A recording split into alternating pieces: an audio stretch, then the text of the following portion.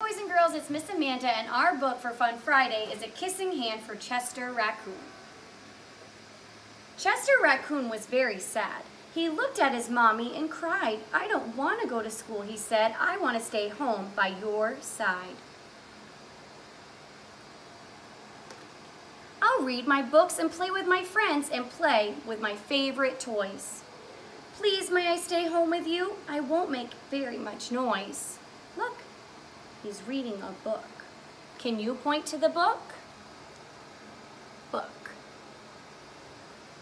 Mrs. Raccoon squeezed Chester's hand and nuzzled him on his ear. You're going to love Owl School, she said. I promise there's nothing to fear.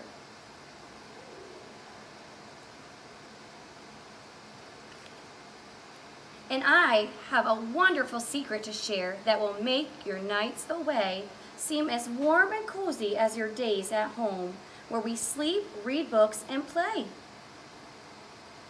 Look, I see a bird. Can you point to the bird? Bird. Mrs. Raccoon opened Chester's hand wide and kissed the center of his palm.